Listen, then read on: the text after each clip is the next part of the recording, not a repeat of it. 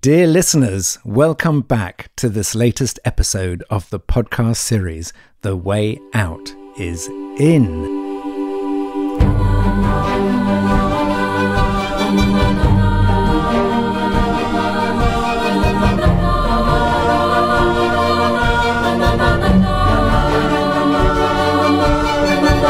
I am Jo Confino, working at the intersection of personal transformation and systems evolution. And I'm Brother Phap Huu, a Zen Buddhist monk, student of Zen Master Thich Nhat Hanh in the Plum Village tradition. And brother, you have just come back from a session which in Plum Village is called Shining Light, which is a way of giving feedback to the monastics so that you can learn together, grow together, and understand each other better. So, today we're going to explore the practice of shining light.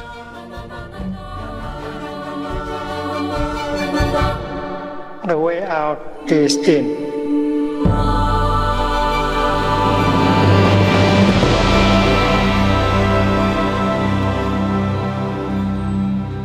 Hello, everyone. I'm Jo Confino. And I'm Brother Huu. And as I said, brother, we are going to experience today what shining light is. Now, um, when I was uh, working, I used to get uh, an annual feedback. So this was called uh, a 360 feedback, and I would um, basically send out a form to uh, eight colleagues both people above me and below me. And uh, they would fill in certain questions. Those questions would be anonymized and they would go back to a trainer. And then I would meet with that consultant and they would take me back through the, you know, the good, the bad, and the ugly.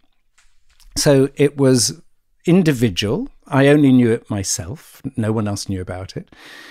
I got no public feedback. It was all anonymized. And then the feedback, as I said, was given by someone who didn't work for the company but was paid for their services.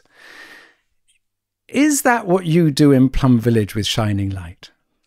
Not exactly, but there are some elements there, like the 360, but we do it collectively and we use what we call the Sangha eye.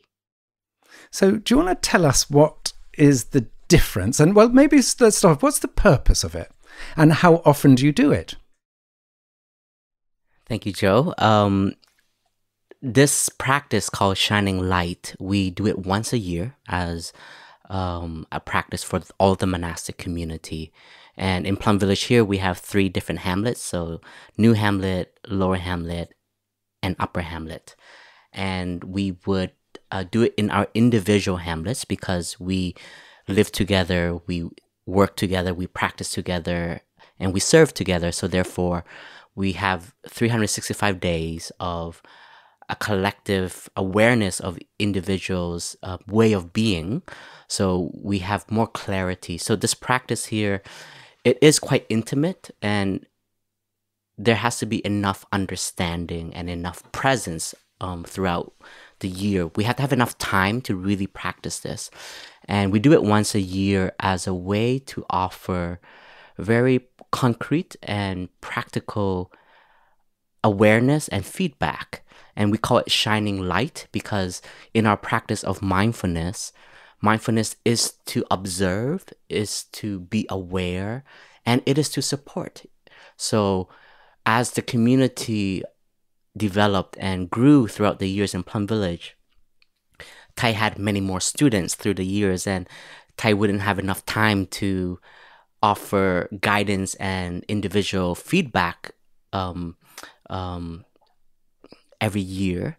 And the, as the monastic grew bigger and larger, um, Thay also needed to rely on his monastic students to also support him in offering the guidance. So this, for me, this practice um, has really developed a sense of caring for one another and the responsibility of supporting one another in, like you said, the good, the bad, and the ugly. but we use different languages. for example, um, the good, we would say we would like to take the opportunity to shine the light on the flowers of individuals, like the the qualities that they have within them that generates a lot of joy and happiness for themselves, but also generate joy and happiness for the community, or even on an individual basis, like on friendship, on um, siblinghood, um, as well as when we look into an individual's practice, we also know none of us is perfect. So we have the mud. So we have the lotuses and we have the mud that we can shine the light on. But whenever we shine the light on a mud, we also have to um, concretely share a suggestion or a looking deeply. So we have to be very mindful in these sessions. We've heard about beginning a new practice in Plum Village. It is not a practice where we are digging into somebody's like shortcoming. Then that becomes a session of just criticizing each other. Then that be I we would consider that a failure of a session because then that becomes um, very heavy as well as not productive. And throughout this session, when we shine light for one, we also get to realize that we're also shining light for ourselves as we are offering input. Because a lot of the times, what we think is beautiful and unbeautiful, it comes from our own perception and what we like inside of us. Um, so it's a really, it's a very deep looking practice. So it is, it is um, vipassana. It is like looking deeply, and we would have enough time for the community to know who is being shined light on the coming week. So we have time to reflect on that person. And in a community like ours, where like in the brothers, we have, um, I think this Rains retreat, we have 50 something brothers. And not everyone has the opportunity to really know one individual. So I really enjoy going to these sessions um, just to hear the shining light from the community on an individual because I can learn so much more about that person by the awareness of other members. So it is like a study, it's a deep study. And when you listen to the shining light of one individual, you can also learn just by observing as well as just by your presence of listening. So, brother, um, I know that uh, Thich Nhat Hanh developed a text in order to read out um, before each session, in order to center and also to really give clear guidance. So, do you want to maybe uh, tell us why Thich Nhat Hanh wrote the text and then maybe read the text so listeners can actually understand um, what actually the process is? Yes, very happy to share about this. Um, when I first came into the community as a monk when I ordained in 2002, the practice of shining light uh, has already been established, but it was in the more early forms. And this shows the beauty of a living community and a living tradition because the early days, this practice wasn't yet um, created in our community.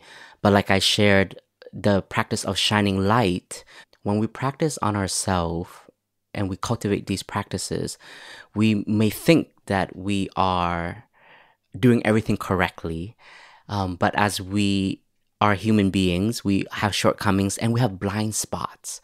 So, this practice is also to shine the light where we as an individual may not be able to see it, but because we live in a community where there's a 360 view, but even deeper, we can see inside because we get to listen to each other throughout the year. So sometimes we get to hear each other's um, story and habits and behaviors and attitude are also manifested throughout the year due to each individual's journey, whether um, they have deep suffering that they're still working on, or some individual are just so pleasant and we need to learn like how they cultivate these these qualities where it's so beneficial for so many. So the early days when when I first came into the community, so in our table today recording we have Jo, we have Nick as our sound engineer, and myself. Let's say we're gonna shine light on Nick. Oh yes, please. um, in the early day, Nick wouldn't be present in that shining light session, and then the the community would then um, let we would then put Nick in our our mind, and from our experience in the in the year, we would then offer our input. And what I've learned is that when that person is not there, we can become very critical about that person. It's so easy to look at the. And sometimes you a person may have held on to that view for a whole year or two years or three years and then in this moment when it's okay we get to like like shine light on nick i'm gonna give it everything and then our speech become not kind and not constructive and it's just blaming and that and that and brother, that's very much like social media, isn't it? That when it's anonymized, when the when you don't see the person sitting in front of you, it's very much easier for the mind to be critical. So actually, you're saying something very similar there. Exactly, and when that person is not there, you you just feel like you're speaking to your own perception about that person, mm. Right? And there's not real responsibility from the individual in offering that person guidance, but it's very different when that person is in the room. So after some reports, uh, our teacher heard about this, and I remember receiving a letter and not knowing what to expect. So, so you mean everyone would discuss the person, and then they would. The, that person would then receive a letter from the community. Exactly. Right, okay, so right. it's kind of like a report card in yeah. a way. And we normally end our rains retreat with a ceremony um, called um, invitation, um, and it's part of the in, the shining light. So at the end of the rains retreat, every monastic would receive their shining light letter. It's kind of like our like this is the ticket out of the rains retreat that you good luck to that you. you that you um you were present, you listen, you practice, and and this letter is for you to observe and reflect for the coming year for you to have a pathway to develop oneself. So the intention is very good. But then our teacher recognized that this kind of practice, it doesn't support our other very foundational practice of community building, which is deep listening and loving speech. So our teacher then renewed this Dhamma door and he said, uh, every Shining Light session, the individual has to be present. And then our teacher wrote a text for us to contemplate before every session. And I would like to read yeah, it. Yeah, great. Thank you. Meditation on offering guidance. Lord Buddha and teachers over many generations. Today we have a chance to practice offering guidance to our brothers, sisters, and friends. We know that in spirit we are all part of one Sangha, that our flesh and bones are also part of one Sangha. Therefore, we are aware that offering guidance to another is offering guidance to ourselves. We vow to use all of our love and understanding in order to practice offering guidance. We promise that every word we speak will come from the good intention of wanting to have a correct view about the person to whom guidance is being offered. We vow not to let our anger, sadness, and prejudice wrongly influence our opinion. We promise that every word we speak will come from love, because offering guidance to one is also offering guidance to many. We are aware that this practice will offer benefits to each of us. Dear Buddha and ancestral teachers, please support us in our wholehearted effort to successfully offer guidance today. Mm, beautiful. Thank you, brother. So, what's coming to my mind is that feedback can either create division or it can bind people together. So, uh, just going back to uh, my history at The Guardian, so I actually brought in the feedback system into the Guardian because uh, before I brought that in, there was no feedback at all. And so people were often just uncertain how they were doing. They didn't get, they often weren't praised for the things that they were doing well. They didn't get feedback when things weren't going very well. And then when things didn't go very well, people often felt excluded. that people would just keep them to the side rather than be honest. There was a complete lack of honesty. But often, too much honesty without care can be hurtful. And there was one uh, editor of one of the big departments, and uh, we experimented in this person in his department first of all, and all the feedback forms came back, and there was not one positive thing they said about this person, and this was twelve people giving the feedback, and they all came back with very serious sort of criticisms. And that person was very much destroyed and actually, a short while later, sort of stood down as the editor of that department. So that was a real lesson for me in, firstly, the anonymity, and secondly, the fact that they didn't start off. There was no process for starting off with the positive things. It was it was just people could just say whatever they want.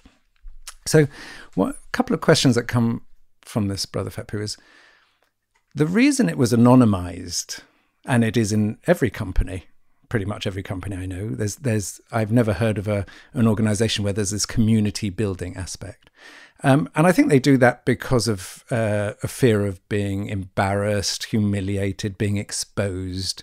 That actually the only way you're going to change is if you have the safety to hear that um, in your own private space, no one else is going to hear it. And you're doing exactly the opposite. So, how can you do it in a way that actually, because there might be a wish to build community, but that person, how do, how do you build the presence and and and holding that space so that if you're giving some feedback that that person might find difficult, that they're genuinely able to hear it in front of everybody. That sounds quite a stretch for some people. It truly is. But the beauty, if we are really coming together to to develop a community and cultivate a community that there is understanding and there is um, trust. Honesty is a big part of that, and it sounds scary. And and and like I shared from the beginning, um, we only do it with residential members. So if you're like a visiting monastic, or if you haven't really spent time with us for over six months, we we wouldn't encourage um, um, you to have shining light because we don't know you deeply enough. So there is a real depth to this practice, and the intention of the of our shining light sessions is to truly support one another, and like the text, like we vow to use the methods of loving speech, that every word we speak will come from the good intention of wanting to have a correct view and also to shine the light so that that person can see their blind spot. And when when we do it collectively like in the upper hamlet um, i know every monastery we have this dhamma door and every monastery will do it uh, in the appropriate way and setting. For example because we have 50 something monastics so we divide our um, um, brothers group into two into two groups. But we divide evenly between the elder and younger. So every group has senior members as well as the youngest member. Um, so there is a shining light and a deep listening from the multi-generational um, experienced practitioners in our community. And with the presence of elders that are there it also has an impact. So a lot of sessions when we go to not everybody will have an opportunity to speak because each member only gets 45 minutes. So it's also a training for the whole community to be very precise in a very loving way and and to truly articulate our offering guidance. And we always start with the flowers. Like in some in some places there's even like a rule it's like you have to have three flowers before um, one mud or or one suggestion. It, it, because it can't be true that you only see something negative about that person. So there is a deep um, development that is being happen um, that is happening is that you have to reflect and review also your perception if it is correct or not and if you only see that person's um, negative aspect, then it also reflects towards you that you really haven't lived with this person because you can only see their negative side when we all know we have good seeds in us. This is the truth. This is a fact. Our experience in this practice and my experience in this practice is very humbling. Number one, the one who is being received, who is um, getting the shining light, is a real practice of humility. You're learning to put all your shield down and to let the Sangha shine the light towards you and you have to practice openness. And isn't this our deepest aspiration as Zen practitioners or as Buddhists to practice no self? It is to see all of the different elements that is not us or that we think is us, but our community can can shine the light where the weeds are or where the strong branches that we have grown um, the wonderful leaves and flowers that that have ripened and the fruits that have come to be thanks to our practice. And very interestingly, and I, I, I want to share a continuous development in this practice of shining light is through the years, um, the community have developed, continue to develop the practice that before the Sangha shines light on the individual, we would ask the individual to shine light on themselves. So before we just come in and listen, but now we've taken another step and we've asked the individual to be in front of the community, your community, and to shine light on his or herself and to look at his or her own growth in the year, the wonderful qualities that they see in them, and then the practice that they are still developing or the shortcomings within habits or energies that they are still learning to transform and then at the end to request the community to shine light.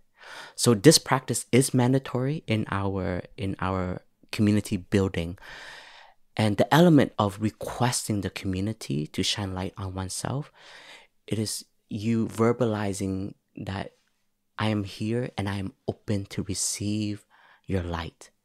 So please shine light. So we always say in, in Zen, in meditation, it's like the transmitter and the transmission, uh, the transmission and the receiver have to be one, and there have to be a, a willingness from both sides.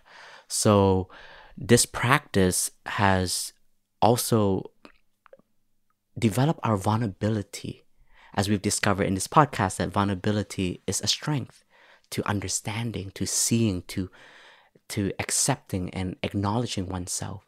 And very interestingly, in a lot of the self shining light that I get to listen to my brothers share, it's so easy for one to just talk about their negative pra- uh, their negative habits. It's so easy to just see ourselves as someone not good enough even some brothers, when they shine light, the brothers would ask, Brother, can you please identify at least two good qualities that you see in yourself? Ah. And in a way, but when we listen to the individual, we get to learn more about them, about the complexes that they go through. And then sometimes in some shining light, the individual feels ready, they ripen in the community.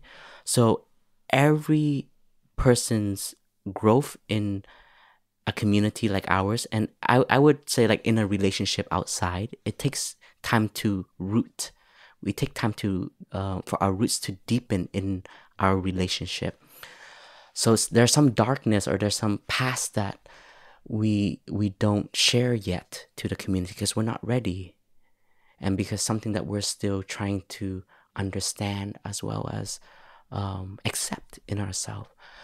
So in some of the our shining light sessions, it's the most profound moment when I get to know a brother, because they're willing to go deeper in their own journey and they get to expose that and they get to share that and be transparent about it to the community. And when you get to listen about about somebody's suffering, we learn that when we understand somebody's suffering, our compassion arises. And so, in a way of like this practice in this development of your journey with the community, it's also an opportunity to ask for support.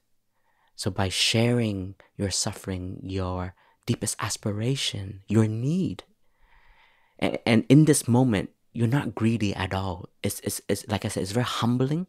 You even feel naked in front of the community. So when you expose and you share with that intention, in a way, it's like renewing your vows. It's like renewing your aspiration.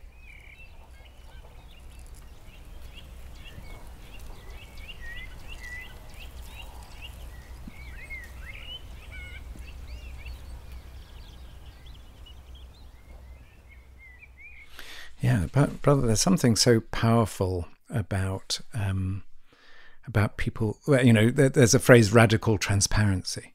That what people are most afraid of is often where their salvation lies. So you may not want to admit to something or to having a difficulty with something, and you feel, you know, shame or fear of isolation or of humiliation. But when you're present, and especially in a community like this, and in a sense you're taking your heart out and offering it in your palms of your hand, saying, Here's my heart, then all people want to do is to support you and to love you through that. Whereas when you're hiding from something, you're actually adding to the power of that feeling of negativity. And also, brother, that sense of um, how difficult it is for us to be kind to ourselves.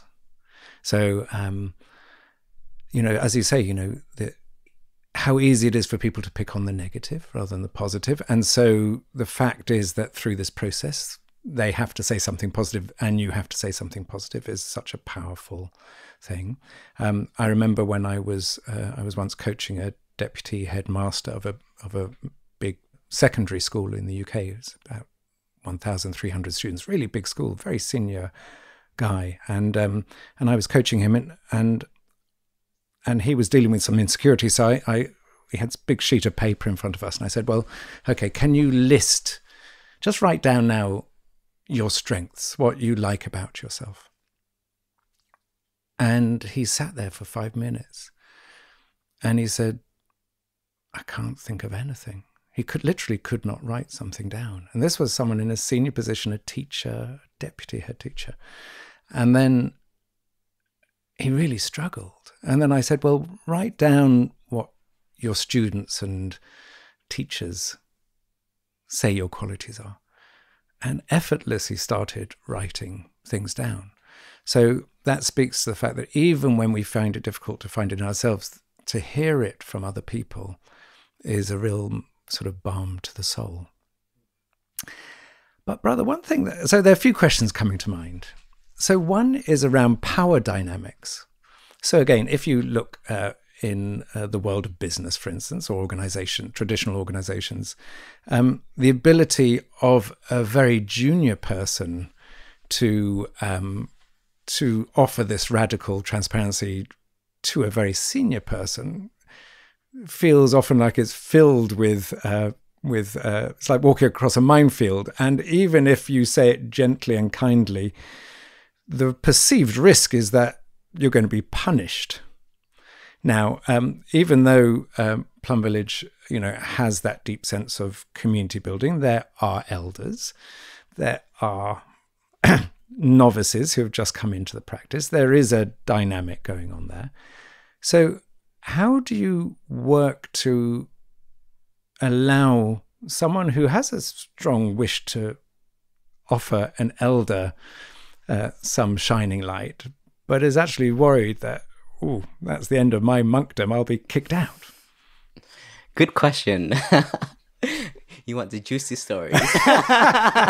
that's what we're here for. yeah so um like i shared like this practice has gone on a journey so we've had we've we've definitely had monks who were very upset at one another um by receiving particular shining lights or or perceptions and judgment and through the years like we we we've really developed the facilitators have to be very stable and solid because the facilitator is hold is holding the space for everyone.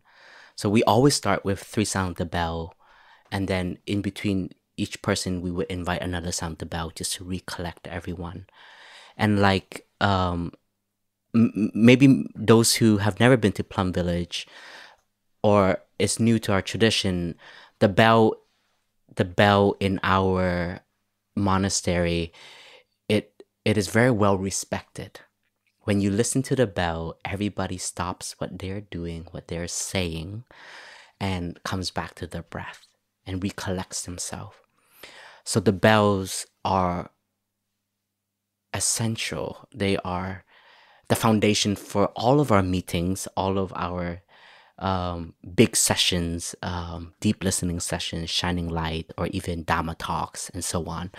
So the bell master has to be very present in the shining light sessions when they hear a particular sharing where it's not coming from love but it's coming from very sharp judgment and very um, maybe it comes with an energy of blame the bellmaster has the the right to to ask it's like dear brother is this coming from blame or is this coming from judgment?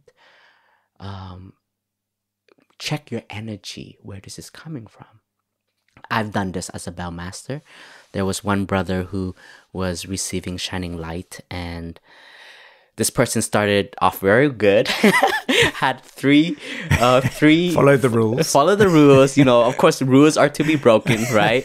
so they they have three um three good qualities but then they prepared a, like a list of seven or ten negative points to um, to share, but it wasn't coming from love and coming to want to help that person. It was just saying, I don't like it when you do this. And the energy right away, it's not of the spirit of shining light. And we do it as a Sangha. So members in the community also can ask the individual who is shining light is like dear brother can you articulate more or can you expand more on on that um on that um perception or on that view or on that light that you offer if some of us feel is a little bit off we can even counter that so the beauty of doing it together like if it's anonymous then there's no responsibility. But when we're doing as a community, when we call it the Sangha eye, so each and every one of us who is listening to the the brother or the sister offering the shining light, we get to also check if that story is correct. So there has been also sessions when um, brother A shares one view, but brother B, C, and D actually knows of that story, but that was a one time thing. And it's not something to label that person with. So we offer the shining light, even to the one who is shining light.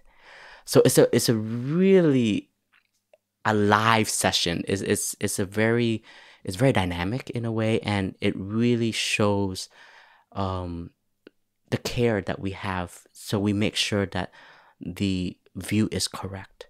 And we've also been trained to to always ask if our perception is correct.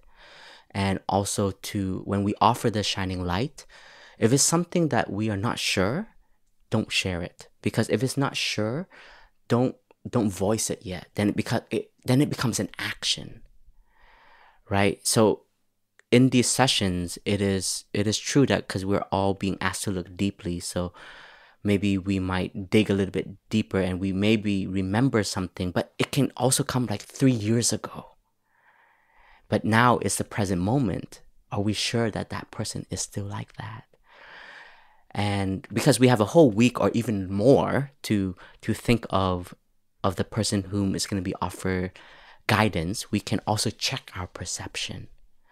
Um, yes, the it is true that uh, there is a careful treading when we do offer guidance to our elders. Um, and some of it, yes, there's some fear, and some of it is respect, and some of it is also how sure are we about it. But if the space is there and the energy is very embracing and the dynamic of that that brother's characteristic we know he is very open. He is able to receive. As a member of the sangha this is our practice. This is also learning to trust our wisdom and to trust our deep looking. And um, sometimes we can also share but halfway through we feel we want to take it back. It's also okay. So there's another element that is happening in the shining light is each group has a typewriter has a somebody on on the laptop writing everything that's being shared and is being projected on a screen or or or is being projected via a TV so we get to see everything that is written. And at the end of each each session before we end we would invite the community to review again everything that has been um, shared and written and to check one more time are these views correct? So so we do like multiple layers of double checking. And even for myself just a week ago i i offered shining light to a brother. And by the end of it i felt that this was just my perception and I, I feel because I am the abbot and I'm such an, an elder brother, so I feel like my this perception can be quite heavy. And I said, I would like to take that back because I feel it's not fair. Because this is just my perception. Um and and not to have it written down. And I I I would ask the brother to also let go of that perception that I shared because I I reflected and I saw that not many um, brothers echoed that, as well as not many brother even shared in the same lane about that particular habit. So you get to also learn that oh, okay, this is maybe just my own wrong view or just a view that I have and it's probably not accurate. So it's it's a real study, it's a real deep deep dive into community building and to to also check the energy of how we are how we are producing um, the words and the um, the angle at where how we're trying to help that person. So it's it's it takes a lot of mindfulness and a lot of love and care in the words we choose also.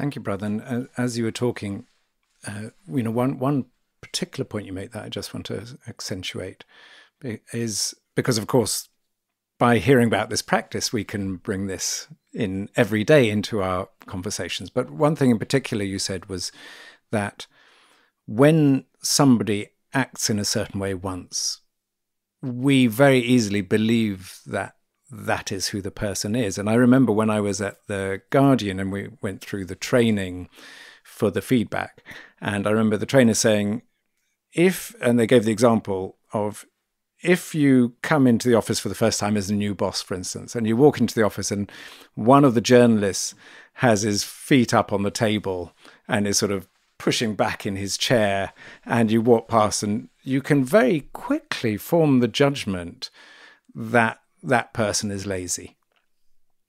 And that the way the mind works is even if that person then works very hard, but occasionally you might see that person sort of going for an early lunch or going for a long lunch. That the way the mind works is that it will just pick on those things and say, well, you see, that person is lazy. So I really like the way you said that the community, the 360, is not just for the person receiving the feedback, but also for the people giving the feedback. Because actually, you have to be very responsible, and um, and have to really have thought it through and understood the the consequences of what you're saying. So actually, what it does is holds everyone responsible and accountable um, for what they say. Yes, and we have like a guideline of like criteria to look at. So it's not just like we come into a session and we're like, shoot away your light, you know? like, armor up. yeah, like, you know, community boundaries are really important. Um, and pathways, creating pathways so that we have a, a clear path to walk together is, is really important. So for our community, we we use the four pillars of the monastic training, which is the first one is our is the individual's um, practice, meditations, um, ways of conducting oneself in the community through the practice. You know how they take care of their emotions, how they take care of their um, daily activities, how they open the door, how they close the door. We really focus on the day to day things because we live together so intimately that it reviews our mind. So we would re- reflect on that person's individual practice. And then the other one is the their study, like their openness to learn. Because all of us are students. Uh, when we enter into the monastic training, we we have to like relearn everything. Like from the simplest of like just how to drink a cup of tea and be present, you know, or how to listen, how to share, um, how to work together, and as well as the Dharma, how we study the Dharma. Are we always present for the classes? And what is our attitude towards studying? And it can go very deep, and our community is very diverse. So we have those who are so intelligent and love studying, picks up like four languages in like three years, and it's it's it's just very encouraging. So when we listen to to to the shining light and we hear of individuals um, willingness to learn it's just incredible. You then as an individual listening you're like oh my gosh like i'm really slacking off on that on that end. Like i need to up my game there you know and then the third element is uh, service and community life. Like are we selfless while being in a community like plum village? Because that's our second seal which is learning to be a drop of water in this river to go as a river. So the practice of living in harmony with each other, how we uh, are we an individual player or are we a team player? And we have one brother who always uses sport metaphors, and it's great. He's like, if we are uh, if we are a soccer if we are a soccer team, a football team, you're you are definitely Messi, you know. but from time to time, you know, I think you should share the ball a little bit more you know and it's it's just so um, everybody finds skillful ways to paint a picture of an individual. And today today sharing um, there was a brother who who one of the image that uh, the community painted for him is like dear brother you you're like a calm lake. Every time you show up your presence is just so calming and it helps the collective. It helps the the ot team organizing team. You don't even have to do anything. You just need to be there and we feel that there is stillness and stability in the group. So by hearing all this it's also we're watering each other's seed that we have. Oh like yeah it's true that brother has such stability and we can see because he's so disciplined. So i'm lacking there how, how do I cultivate that so I can also have more of that presence, for example. So it's also a mirroring for each other in these shining light session. And then the fourth one is generating joy and happiness. Are we able to, as an individual, take care of our happiness and then take care of the happiness of the Sangha? Because our, our aspect is not just ourselves, but how it has an impact on everyone. And for some, we need them to take care more of their of their happiness because they do everything for the community and sometimes they may spread themselves so thin that and we don't want to lose them we don't want them to burn out because we have had monastic burnout in our community and end up leaving the Sangha. So we've also learned through our 42 years of Plum Village where we have a lot of experience, living experience where we can shine light on one another. Sometimes we just say because it hasn't happened yet, it's just like in our experience, if you keep going down this path, um, you may burn out, dear brother, and you are so dear to us. Like, please take care of yourself. So, in these moments of of of shining light, um, we we also get to care for that person's future also, and and we know that it's not an individual matter. Like that person's presence and success is our presence and success. That person's shortcoming is also our shortcoming. And sometimes I hear when I listen to somebody's suffering or somebody's struggle, I also ask back, like, what haven't we done to support that person? Or it also reflects on the community that, oh, you know, in the last year, we haven't been diligent in reminding our community in this aspect. Therefore, this energy has emerged within individuals in our community. So, like Thay's text says, like shining light for one is shining light for all. So, by looking at one, you get to also look at the collective. So it's it's a real interbeing um, practice and process. And another element that is not is not in the written out criteria, but a lot of us we always talk about is the friendship of the of the of the person's capacity in in developing communities and connection in the Sangha. Meaning there are those who are are learning to live together. So we just want to identify it's like I know maybe your whole life you've been solo. You've had your own room, you had your own house, you know, you had your own career, and here you are like learning to unlearn all that and to really be in harmony and just to acknowledge something as simple as that it it is also it boosts that person's um, um, trust and faith in the path that they've taken and uh, and in the willingness to to learn to be each other's friend um, because we are a community and we do live with one another.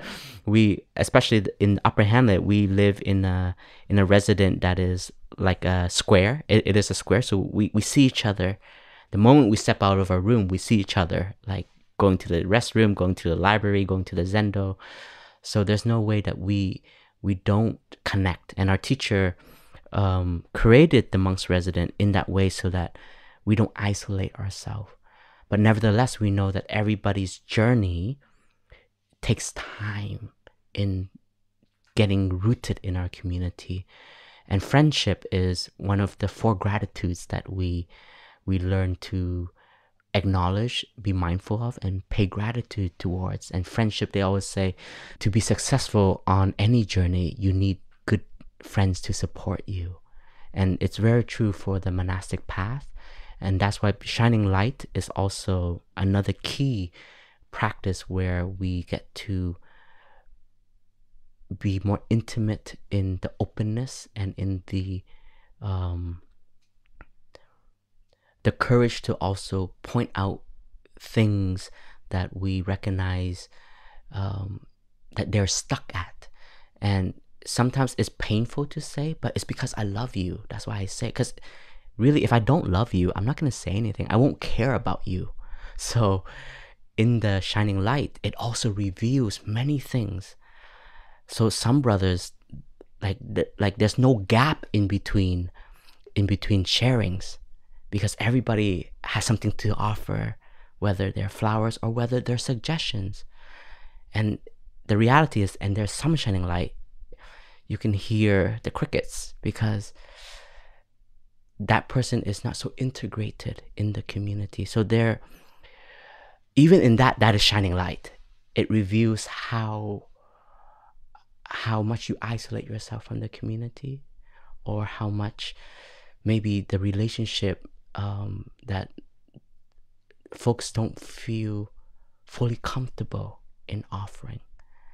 So it's a very dynamic and unique experience. It does, and, and one of one of the things I'm hearing so clearly in what you're saying is it's the chance to go beyond belief in self, which is of course the core Buddhist understanding of interbeing, because because often, you know, you'll get people in a you know their community, which might be an organization or whatever, and thinking they think, how can I do well here? How can I you know, everyone wants to be a Messi in that sense. You know, everyone wants to. Um, they, they think of themselves as as at the extent of their border, that's who they need to look after. Whereas actually, what I'm hearing is that actually, if every person represents a facet of the whole, then actually the whole has to be understood as the whole. Is that, in other words, my contribution to the whole might be I'm very good at this. It doesn't mean I have to also be good at that and that because someone else is. If someone else is calm as a lake, yes, of course I want to develop calmness, but my skill may be that I'm good at accounting and I look after the bookshop finances. And actually, that is of equal importance within the life of a community. And, and seeing someone else be calm is also my calmness. And for that person who's calm, they're able to be calm maybe in part because they don't have to do the accounting in the bookshop. So, so, so what I'm hearing is that it's it's it's a deep way of seeing beyond self and to actually what really is a community. Yeah, and and with the sangha eye, like we we like a dharma teacher would a lot of us we would be attentive to shining the light on how he or she offers the teachings or how he or she shows up. And and in the shining light you also get to see the different layers of our community like you have expressed. And yeah it's so beautiful to to hear like what is very meaningful for people. It's not when you give like an incredible dharma talk but what i always hear is like when when people are attentive and caring for each other. Like we we have a brother who we call we call him the um the rice bodhisattva, the rice soup bodhisattva, because he does not discriminate. When anybody is sick, he makes rice soup for them. and it's always in the common room. And even the non-sick brothers get to enjoy the, the, the rice soup. And and uh, just yeah, two years ago, our brother returned back to Vietnam, so we're we're we're definitely missing our rice soup bodhisattva. So this is a call out to anyone who wants to be a monastic and makes good rice soup is side up now. No, but you know, like this is just, and he's a Dharma teacher, and he's he's a brother who is not um, eloquent in speaking and doesn't like to be in the public and uh, gets very nervous and shy. But he knows that his offering is on the practical side. He, he does, he can build anything.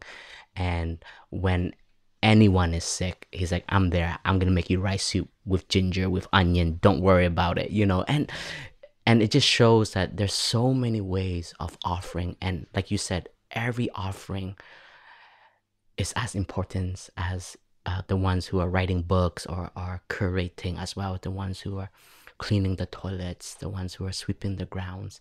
And this is where we get to break the uh, the hierarchy of like what is important, what is not, and to really see that that interbeing. Because it's right, like we can't do this podcast and have this total freedom if there aren't brothers and sisters who are cooking, who are holding uh, other other elements in the community, for example. So this also in in this shining light is also it's a it's a place and time to offer our gratitude, you know, to to show our appreciation of the individual.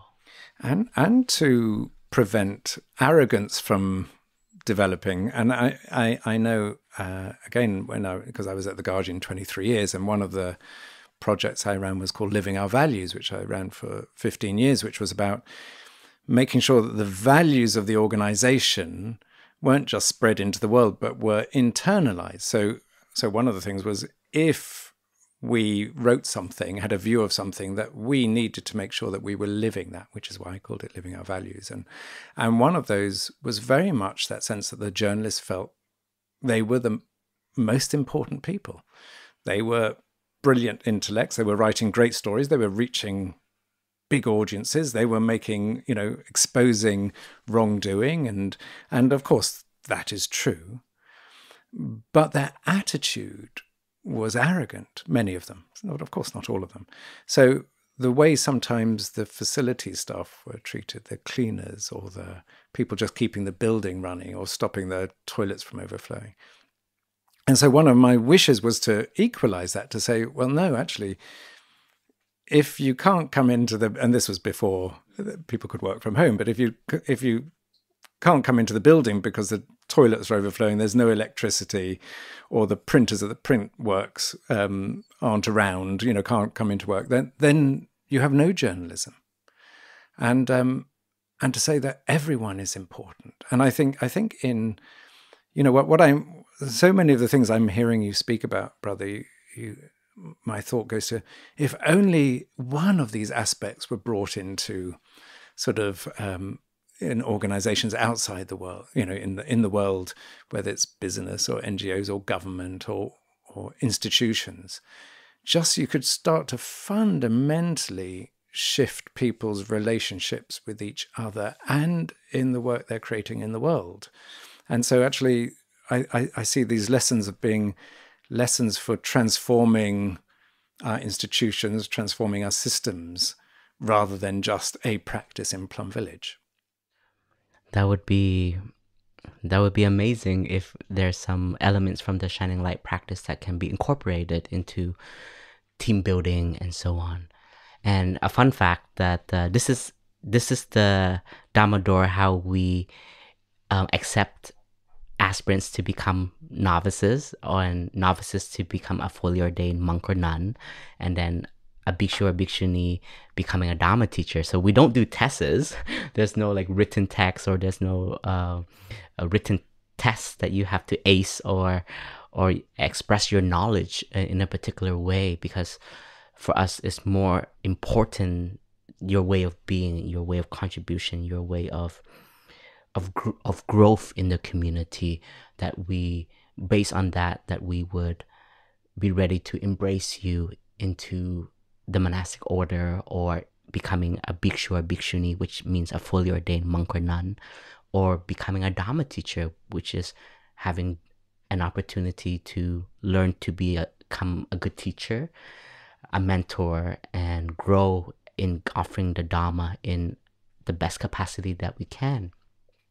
And by by doing it uh, with this um, with this sangha eye, we also avoid like like biases like that are, can be developed within within groups right? It's like if i'm gonna become a dharma teacher then i'm just gonna like um, become like very sweet to you for the next like four months because you're about to make my decision right? But but we don't we we don't we're not based on that and we're based on a collective view by shining light. And we get to hear if that person is we say if that person is ripe. And we don't look for anybody perfect but they they're ripe enough to become a monastic or a, a fully ordained monastic or a dharma teacher. And Thay always says like when you become a dharma teacher when you re- when you receive the lamp it doesn't mean you have accomplished anything. It's actually it's just it's just the beginning. And he always says it takes like 10 years to become a very good dharma teacher. And even dharma teachers we yes arrogance and ego and pride is also one of the hindrances of our freedom as a monastic. And as a practitioner i would even say for those of us who you know we can have a long-term practice but if we don't see our blind spots and if there are if we don't have friends who can also shine light to help us grow then we might we might be stuck for a while. And the shining light it happens officially once a year but shining light um, can happen throughout the year between mentors and mentees or very close brothers and sisters. And uh, yeah, from time to time, a group of us who are very close to each other, we would sit down and just shine light on each other. Or when we were growing as Dharma teachers, like we would shine light on the way we um, offer the teachings or how we uh, facilitate, you know, um, we would take that brother aside say, "Oh, brother, you did these elements were really good, but you know, I want you to be more aware when you use the bell, for example, or when you're presenting uh, a subject to to be more concrete about it. So the shining light, um, it's it's really uh, also a tool and a way to support one another. Because to have language is important because sometimes it's just like here come here and let me tell you what you're not good at. It sounds horrible but it's like brother can i shine light? And when you hear that you know that there's something that you can improve but the language helps soothe the the process of growing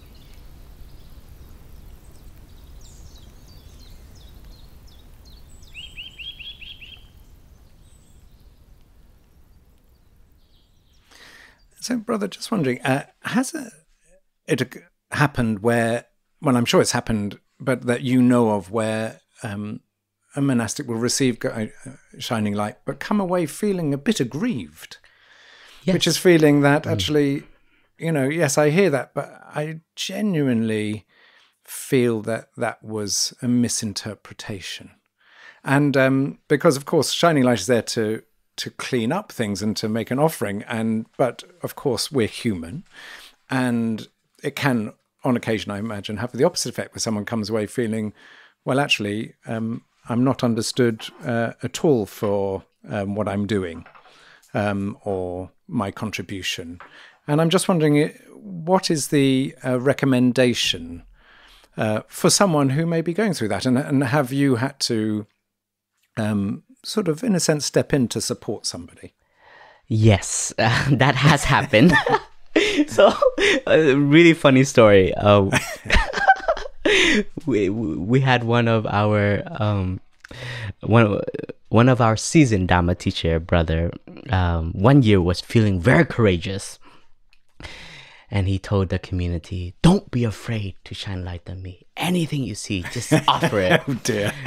Be, you know that saying, right? Be careful what you ask for or wish, for yeah. because well, he kind of opened the gate, so we're like, "All right, my my brother's ready," and yeah, I think it was just the the suggestion was too much compared to the the flowers because also in that moment it's very rare like you said like um it's a moment where we get to really shine light on our seniors. So i think we, we got a little open bit, the floodgates. We, we we got a little bit greedy on that too and a little bit unmindful of the balance. Yeah. so it's also the the attentiveness that we didn't have in that moment of of to to balance and remember the the rules which is like flowers three one right? Um and yeah some of us like did recognize like our brother was like oh was down for a few a few days or weeks. And and yet the responsibility is also to come and and to check in and to say you know you asked for it but we love you, you know, brother. Like we, we truly love you. And just to remind, like, you know, there's that saying in Vietnamese is like if if if if if you don't offer bitterness, you know, then that's not true love. Like, cause they always say like bitter medicine is like good for your your liver and good for your health. Um, and and also the practice of the listener is just to be open and receive so this has also been developed in our shining light sessions is that the individual in that moment is not allowed to counter any suggestions that is being offered because then that is pride speaking in that moment and not real openness and and trust the community. Of course like i shared it, we've we've done this process for a very long time now in our community. So there is a lot of maturity in in this in this practice of of of speaking, of sharing, and of listening to one another, and to help views if they're not totally accurate. Um, we we did learn like before we did have brothers like in like after all the sharings they did bow and they said like i feel like the community or that view is so wrong and you don't understand me. And maybe it's true because what we said like you it can be partially right. But in that moment i feel and this is just my experience right? So if you counter like that, then suddenly nobody next year will want to shine light on you. So there's a time and space for everything. So in that moment of receiving and listening, we always end with gratitude. It's become, I don't know about the other monasteries in our tradition, but in Upper Hamlet, we always end with each individual thanking the community uh, for shining light. And, and they always say, I will take time to reflect on all those suggestions and I will learn to put it into practice. And it's it's very genuine when when each individual share this. It's not like an automatic thing. It's like I shared, like the the atmosphere that has been set up is it's it's very tender. It's very it's very real, and it's real heart that is being offered to one another. So in that moment, even if it's not 100% accurate, but I think it's the intentions that are there that we're hearing from one another. And we always offer gratitude back. And yes, maybe a week later, you know, we can share to our mentors, like, you know, dear mentor, like, I was, this was my shining light, and I don't feel it's 100% accurate. What do you think? You know, and then we can reflect on it. But in that moment of like, if you shut it, if you shut the gates down, then it also, sh- in a way, it just presents your your unwillingness to to be open. Yeah, yeah. Brother, just one thing I'm holding in the back of my mind. Go for I, it. No, which I just want to come back to. No, it's a good thing. okay, okay, okay. it's, a, it's, a, flower watering. Um, I was really impressed when you said that um, with this one uh, monk that you thought about something and then went and said, "I want to take that back." I, I just because I think there's that's such a beautiful expression of deep looking and reflection and then action. And what was at the back of my mind was how was that received? Mm. Because one thing, because because because it's not just in the saying of something; it's the how the person receives that and how that changes their way of being. And I'm so I'm just intrigued as to how that was received.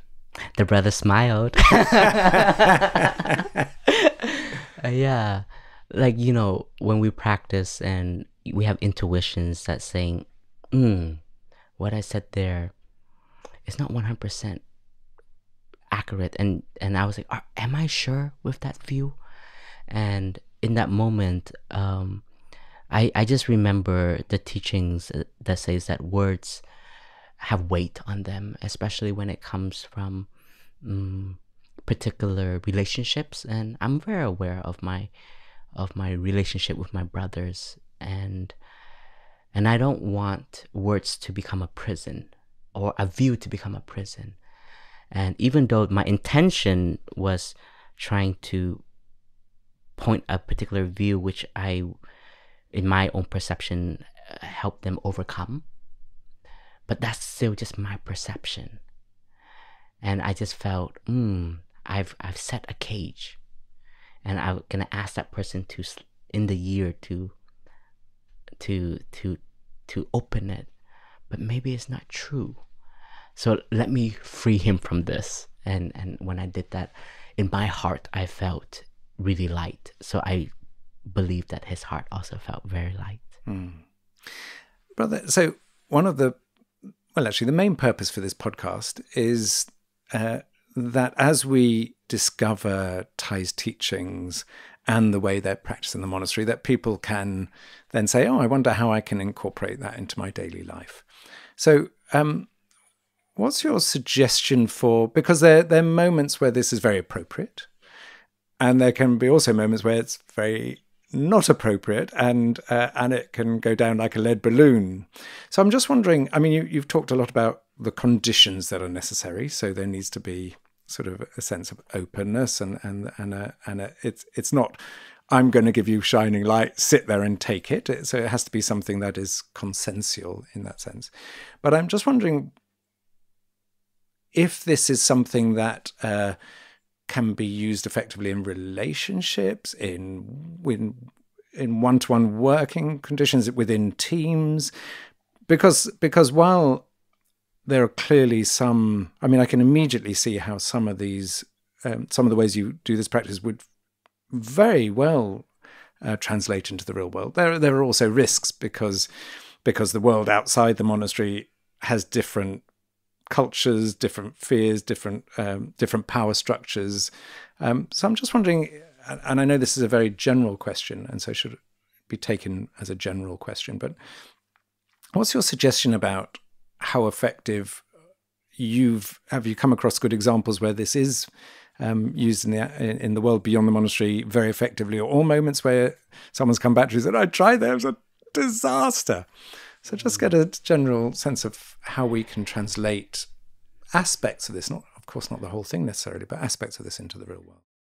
Oh, I definitely think it can. Um, we don't have to tell the people that this is a Dharma door from Plum Village and I need you to sit down and breathe three times and and then boom boom boom boom. Um, but I think the essence of it is is is love, which is showing our support and shining light where there are blind spots. And like I shared, like we only do this in the residential community where there is a real relationship, intimate, um, kind of intimacy you know that we we we really know each other and because i i feel if we don't have this Dharma door for example um i feel the tendency as individualistic living we can not care about the the other person and just say oh you know what like that's just his habit i'm just gonna let him go down that rabbit hole and and i'm just gonna be better than that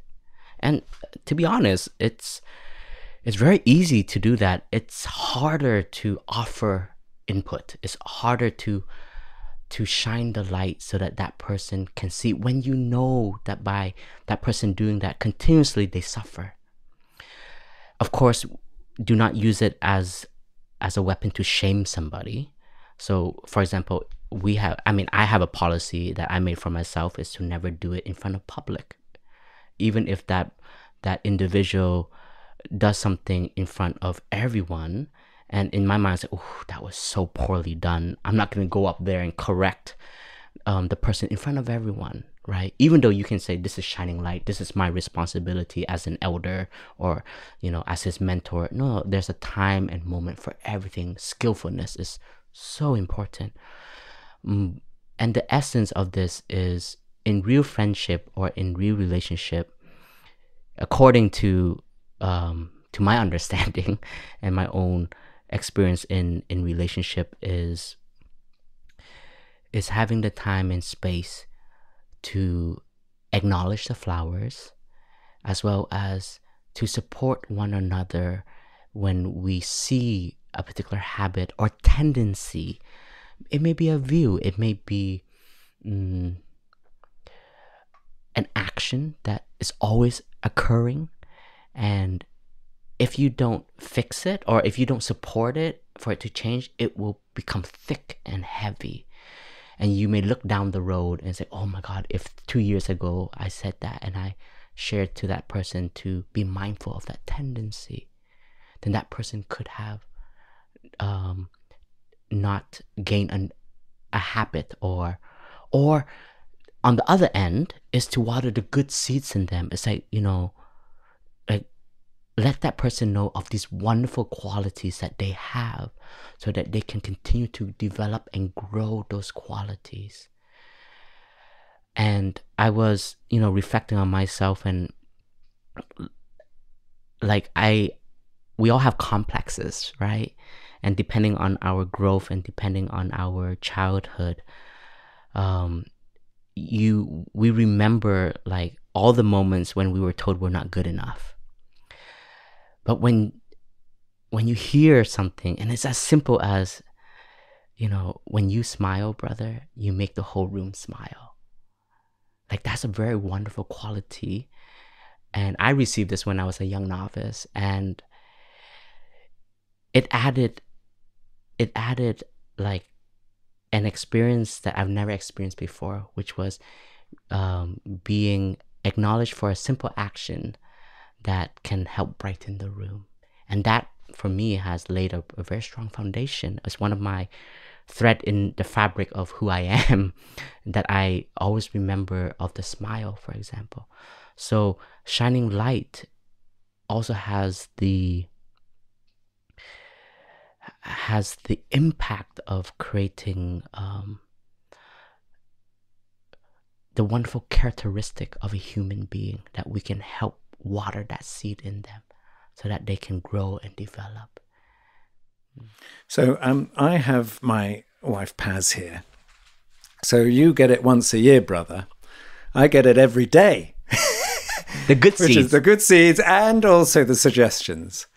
And uh, and of course when you know when you what you say is so it's all about the intention and the love because when the love and the intention is present actually then we can hear things because even though we can be very critical of ourselves we find it very difficult when someone else is saying it to us so actually it's always about how are we showing up um, and my final question, brother, I keep the best till last. Yes, yes, yes. Um, we have been talking about the community and about going beyond self, but how is your? Have you had your shining light this year? I did.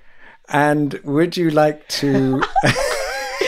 Expose it to the world. I, I, I, I'm sure you knew this was coming at some point, but uh, would you like to share anything from it? And uh, being this is a public space, of course, um, we talk about healthy boundaries and everything, but but um, how did it? You know, how was it? And and also, I'm sure you you you've had it for the past, you know. 21 years or so you know uh, do you notice patterns because often you know i have habits that you know even though i've been aware of them i still they still come up. And, and because habits are very difficult to fully let go in certain situations you know as we know with the buddhist model of the mind a certain situation will happen and, and an old seed will pop up from our store consciousness into our mind consciousness. So so none of us are aiming to be perfect or can be perfect. But i'm just wondering from a personal perspective whether you want to share anything about your own process in it. Mm. We'll allow a long silence here. Breathing in, breathing out. in the spirit of uh, interbeing, uh, there's nothing to hide. um, yes, I have received. I, I- I received two shining lights, and one is officially from the community, and one from um, a group of friends that are not monastics. So yes, it can happen uh, outside of the outside of the um, the community settings. And let me talk first about uh, the community's shining light. Um, yeah, it's always very vulnerable to be in front of the community and and join my palms and and just share because in that moment I don't want to be faking anything and I don't want to be um also like uh bypassing anything because I know the sangha sees everything.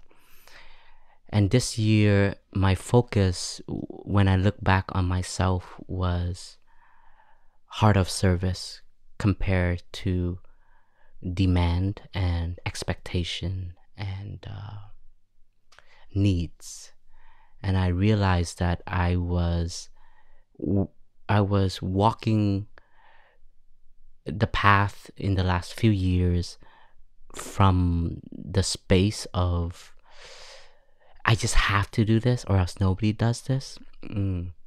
And and I was slowly losing my my love for the community, you know, and I said it's very hard to say this, but it was I, I had to be honest to myself because that's my own shining light to myself and to have the Sangha to witness this.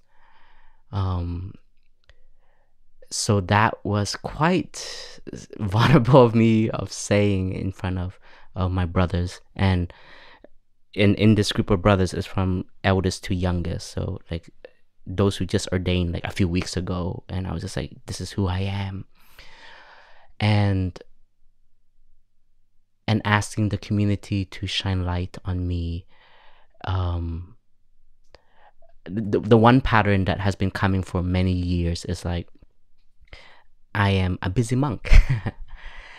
and I, w- w- one of my freedom this year was actually I really accepted that, and and I'm okay with that. I'm happy with that because if I can do these works where it's not everybody's favorite administration work and lots of meetings where I have to skip a lot of meditation session with the sangha. Um, on the phone a lot, on emails a lot. So if I can do this so that four brothers don't have to do this, it's okay. I feel I feel this is my offering. And I think before I was a little bit shameful about that, like shameful that I whenever somebody sees me, you know, the first thing they say is, I know you're very busy, brother. But if there is just, you know, 15 minutes or 30 minute um, that was one thing that I've I've actually I've accepted. This is where I'm at right now for this community, and I I do it I do it well, and and and I'm happy about it. And thanks to that, through that acceptance, I'm able to create boundaries. So I'm okay to say no now. Um, when somebody wants to spend time with me and and I said, actually, you know what? I'm very full. I can't. And I would like to ask for your understanding. So before I was more like trying to like people please everybody. Um yeah, so there's this one friend who like requested to see me uh like right after arriving in Plum Village. I'm just, bro, you just arrived. Like you know me. Like if you listen to the podcast, there's nothing more for me to say. Um but uh but he's here for the whole three months and I said, just be patient. If you're patient, the moment will come. and I think it's just the acceptance of my reality was was a new freedom for me. So and a lot more was was shared in the shining light, but I think that's enough for the world to to hear. And and to go to another layer of you know friends that I've I've established through the community.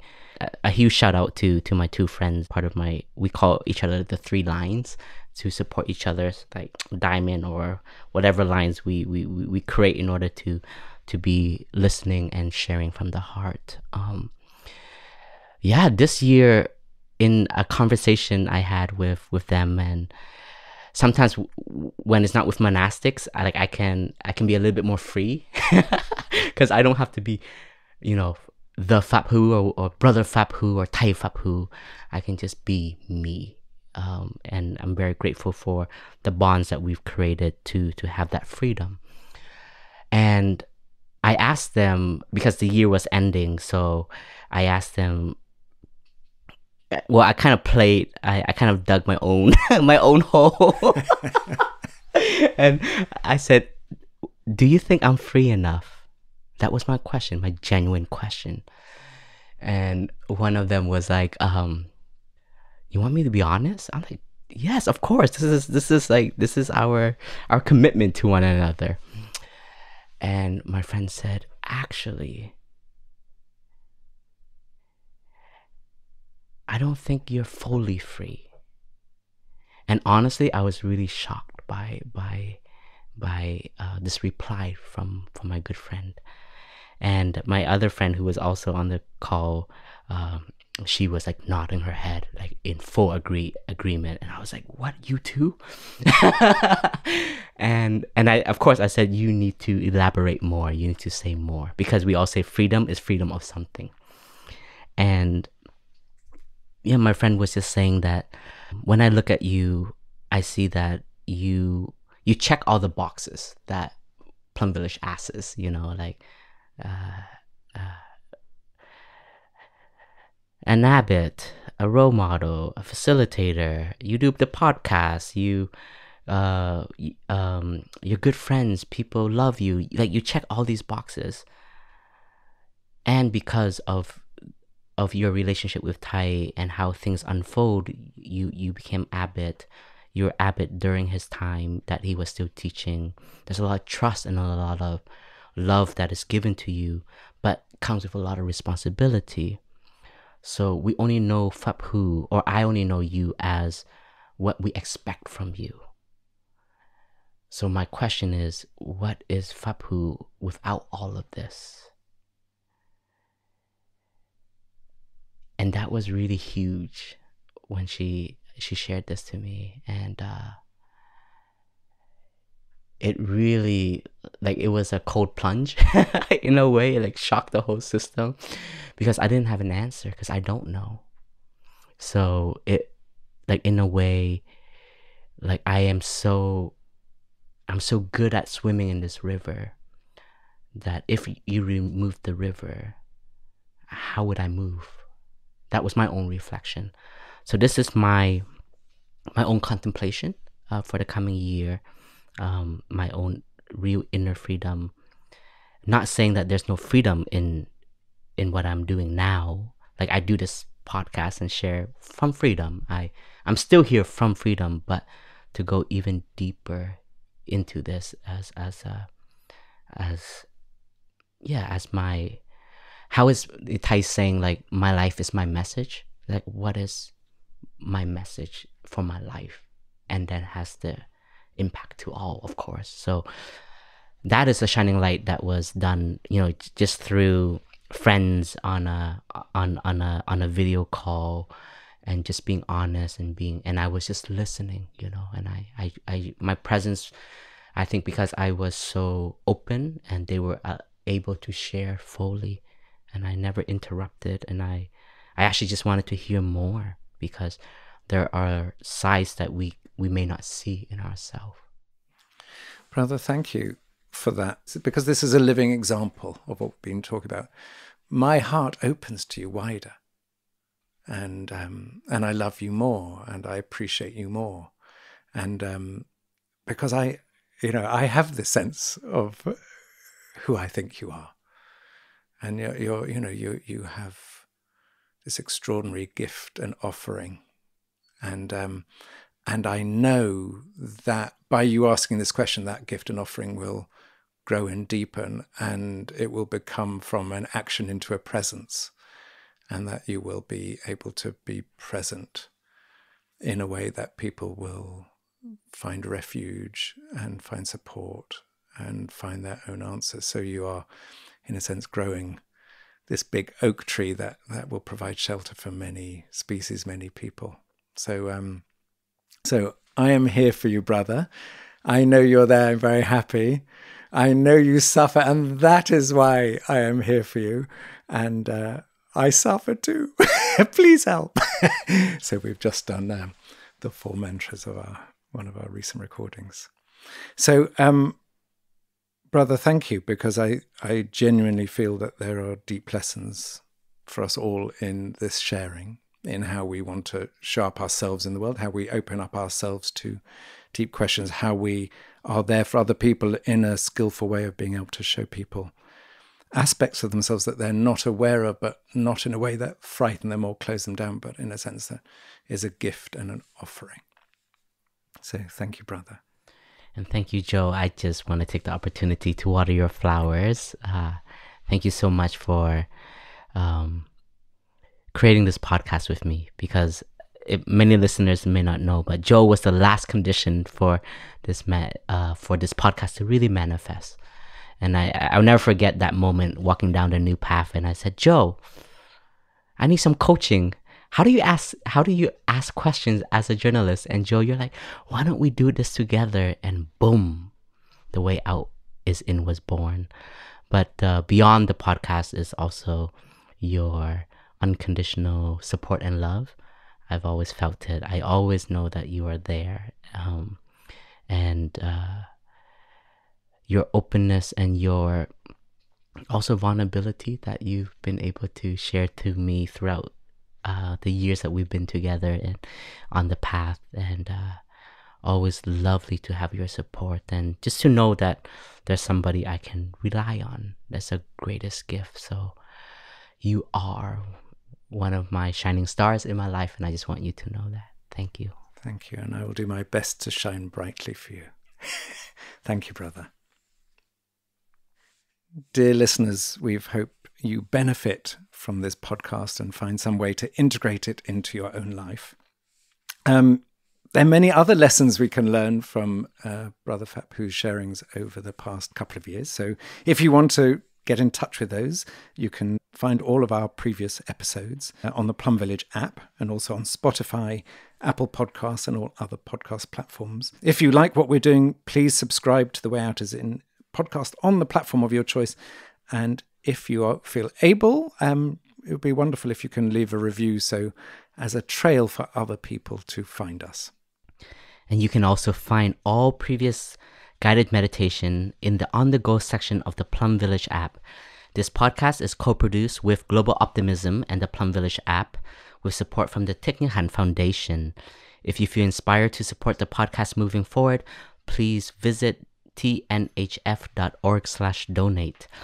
And we want to thank our friends and collaborators today, Nick, as our sound engineer, as well as Paz present here, giving spiritual support and support to Jo, to Clay, co-producer, aka the Podfather, as well as Kata, our co-producer, and our creator of the Plum Village app, as well as our other Joe, audio editing, Anka, our show notes and publishing, Jasmine and Cindy, our social media garden angels. And thank you everyone for listening. Thank you.